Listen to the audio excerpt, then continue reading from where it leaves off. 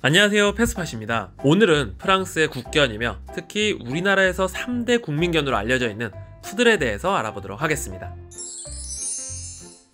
푸들의 조상인 스탠다드 푸들은 오리 등 야생 물새 사냥에 활용되던 견종인데요. 프랑스에서는 오리 암컷을 의미하는 caniche라고 부르고 독일에서는 물가에서 첨벙거리면서 수영을 하는 의미의 Pudel로 불렸다고 해요. 이렇게 이름에서 유추해 볼 수 있듯이 푸들은 총알에 맞아 떨어진 물새나 오리를 회수하는 역할을 하였습니다. 푸들은 원래 대형 견종이었으나 개량을 하면서 다양한 사이즈의 푸들종이 나오게 되었는데요. 스탠다드 푸들, 미디엄 푸들, 미니어처 푸들, 토이 푸들 순으로 크기가 작아지게 되었습니다. 현재 국내에서 일반적으로 가장 흔하게 볼 수 있는 푸들은 토이 푸들이라고 합니다. 그러면 토이 푸들의 외모에 대해서 같이 알아볼까요? 체고는 20에서 30cm, 체중은 3에서 4kg, 소형견에 속하며 털은 부드럽고 곱슬거리는 것이 특징이고 다양한 모색을 가지고 있는 있는 견종입니다. 눈은 아몬드 모양이며 귀는 다소 긴 편으로 볼까지 길게 늘어져 있고 짧은 꼬리와 근육질의 균형 잡힌 몸매를 가지고 있는 견종입니다. 이어서 토이푸들의 성격과 특징에 대해서 알아보도록 하겠습니다. 푸들은 다른 강아지들에 비해 매우 높은 지능을 가지고 있는데요. 그렇기 때문에 보호자의 움직임 하나하나를 분석하는 똑똑한 견종이어서 교육을 시키기에 매우 좋은 강아지라고 합니다.